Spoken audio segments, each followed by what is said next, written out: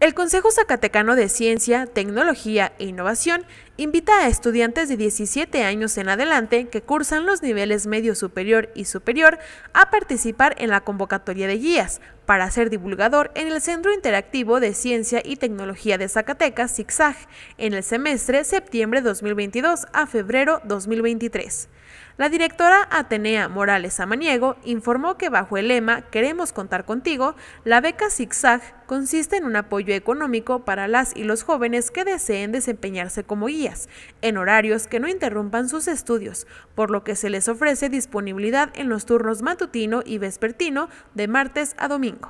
La recepción de las solicitudes estará abierta hasta el 17 de septiembre a las 18 horas y entre los requisitos a cumplir están tener un promedio escolar mínimo de 7.5, radicar permanentemente en la zona metropolitana Zacatecas-Guadalupe, ser mexicano, no contar con otro tipo de beca, tener espíritu de servicio y entregar la documentación correspondiente, entre otros. Los beneficiarios de las becas ZigZag del COSID son seleccionados por un comité dictaminador y el monto del recurso varía de acuerdo al tipo de apoyo y a la cantidad del presupuesto disponible para este programa,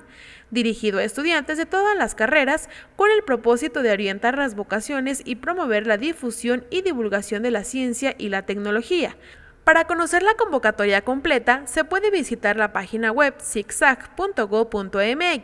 enviar la documentación correspondiente al email a navarro.cosid.go.mx y para mayores informes presentarse en la coordinación de guías de ZigZag o bien llamar a los teléfonos 492 92 53 308 y 9213 228 extensión 1500 y 1535 en horario de 9 a 15 horas. Por otra parte, la directora informó que a partir de este día y hasta el 11 de septiembre, el ZigZag permanecerá cerrado, con el propósito de efectuar trabajos intensos de mantenimiento que permitan ofrecer a públicos servicios e instalaciones de alta calidad para la difusión de la ciencia, tecnología e innovación entre la niñez y juventud zacatecanas.